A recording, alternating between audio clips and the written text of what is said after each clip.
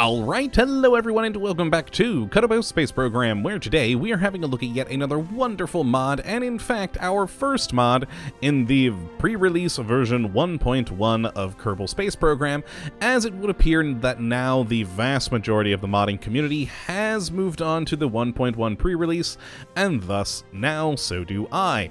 And our first mod that we're going to be having a look at in this new release is the Space Tackles K.I.E Fighter mod, which is being made, of course, course, by forum user Spacetackle, and what this glorious little piece of work looks to add into the game is a series of parts to allow you to make your own Kerbalized TIE fighters and I kind of love that. Now, if you remember a long time ago, we had a look at a similar mod that was from another author that just added in the TIE Fighter cockpit. This one, though, adds in all the parts necessary to make a near endless array of different kinds of TIE fighters, and frankly, I just love it. So let's just jump right on into the VAB and have a look at the currently nine parts in total that this does add in. Now, the first one we're going to have a look here is the K.I.E Fighter cockpit, which is, you know, pretty small cockpit overall. If we grab the Mark 1 command pod, you'll notice it's uh, fairly comparable in size, a little bit larger, well, perhaps a little bit more than a little, but overall, eh, fairly close in size, and it is a, a K.I.E Fighter cockpit. It holds one crew member. It does have a built-in reaction wheel, the science experiment crew report, 200 electric charge, and 50 monopropellant. And yeah, it's a it's a nice little capsule. Now, as you can see on the sides, we do have a number of different attachment points on the back, the bottom, and two on the sides, uh, which is good for uh, building your various different K.I.E fighters that you may want to make. I'm a little intrigued why they did go for an attachment point on the bottom, but not the top of the K.I.E fighter capsule, but, eh, you know, to each their own, I guess. Now, the next set of parts is going to be down here in engines, where we have two different engines which are identical, except this one has no engine plume, and this one does. That's it. That's the only difference between these two different engines, so it's just whatever you want the aesthetic of your fighter to be. Do you want it to have an engine plume or not? But both of them have a max thrust of 100 kilonewtons, a very, very impressive engine ISP at 999,999, and then sips down xenon gas at 0.102 per second, but then chugs quite a bit of electrical charge at 10.197. It does have a bit of gimbling range, and both have impressive engine sounds, which do sound, you know, like a TIE fighter, which is what you'd hope for. Now, uh, again, as I said, they are basically identical engines, the only difference between them being this one has no plume, this one does. And that's, frankly, it. But other than that, very good little engines. Now, the next set of parts we have is in structural, where we'll find four different things, the first of which being an arm connector. And this is basically a four-way splitter here. It also does hold 50 liquid fuel, 40.9 oxidizer, and 50 xenon gas. Now, by default, only the xenon gas will be in here, but if you do want a little bit of liquid fuel or oxidizer, you can throw that in as well. Uh, but again, the 50 xenon gas will be the defaulted in. Now, the next part we have is a K.I.E bracket, which, uh, as you can see, is an active radiator, which is always useful. It does require some electric charge for it, but it'll help with your heat. And it's a pretty lovely little bracket there. Let's put it on that part there and actually get a little zoom in so we can see these a bit more close up. Very nice indeed. I do like the look of all of these parts. Very good modeling, good texturing on them. Very nice. And of course, Kerbal. And then the next part we have is the fighter port cover. Now this is what I was saying about why I thought it was a little odd that it has an attachment point here on the bottom of the cockpit, but not on the top. Because if you don't want the bottom one, you can cover it up with uh, this, this particular little K.I.E Fighter cover. And there we go, it has a little K.I.E Fighter I, I, guess just lettering there. But yeah, it's a way to cover it up if you don't want to add any additional other things onto the ship. And I'm just, uh, I'm confused why they don't also do it on the top. But hey, again, that's just my opinion.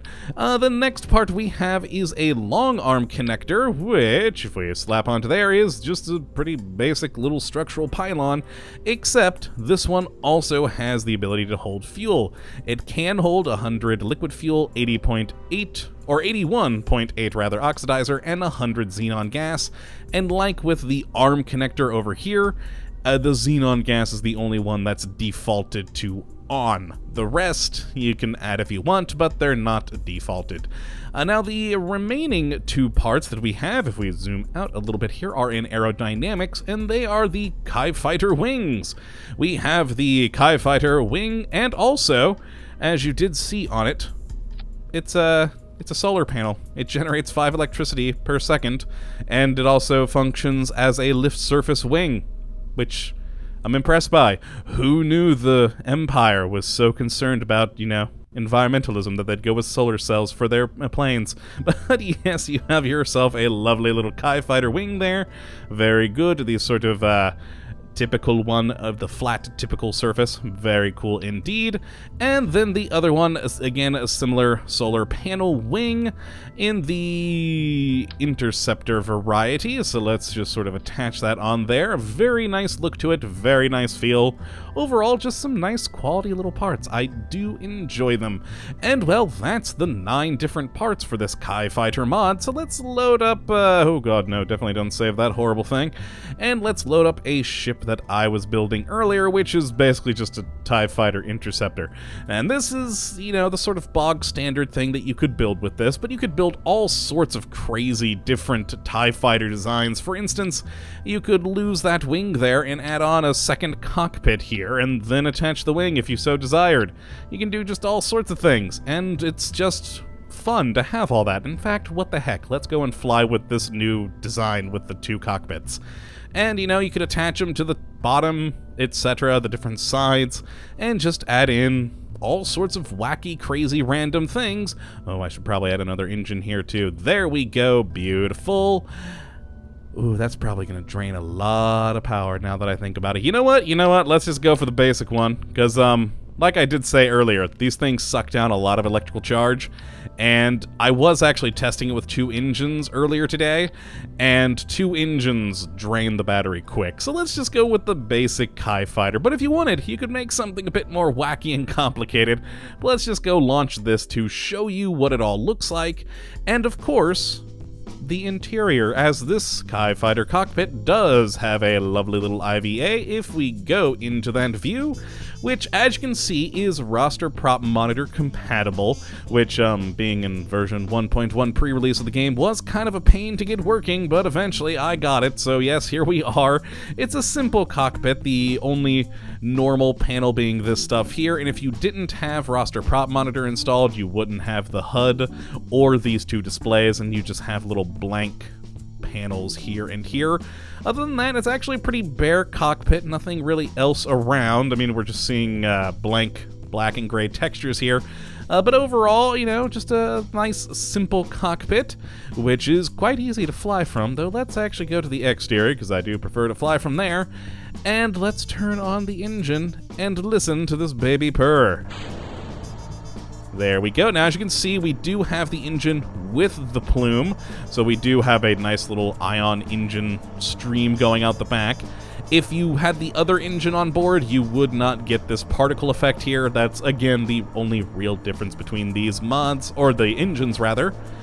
And yes, you can hear the light hum of the engine right now. If we throttle all the way up, we can go um, pretty darn fast, and, well, the engine, of course, gets a little bit louder, and I do enjoy it. So here we go. And there's that lovely TIE Fighter screech. Now, it's not quite what you'd think or hope from the movies, but you know what? It's, uh, it's close enough, I'd say, for a K.I.E Fighter mod here in the game. And as you can see, though, we are getting pretty darn quick, and resource-wise, we're, uh, we're fine. We've barely used any xenon gas, and we've only gone through a small amount of power. This is kind of an overpowered craft, but frankly, if you're downloading a TIE fighter for Kerbal Space Program, eh, it's going to be overpowered. As for maneuverability, it's um pretty pretty maneuverable. In fact, perhaps too maneuverable for me, uh, considering my history of a as a pilot. I tend to crash a lot, and this thing's a little bit finicky even with the uh, fine-tuned controls on down here. Especially in the up and down motion, this thing will flip around pretty quick, but with how powerful the engine is, you really don't have to matter about it too much because you just power through it and you're back to flying perfectly fine. But let's actually throttle down. And yeah, I mean this is this is a pretty fun little mod. It's uh, only a handful of parts, again nine in total, but a pretty impressive little build. I do like the look of all the parts. They are very well made, very well textured. Uh, they've got a the good TIE fighter look to them.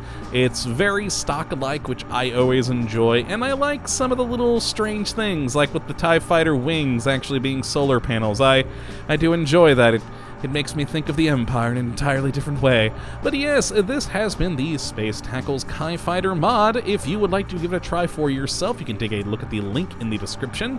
And I definitely would say to go give it a try, build yourself some TIE fighters and some really wacky ones with multiple cockpits.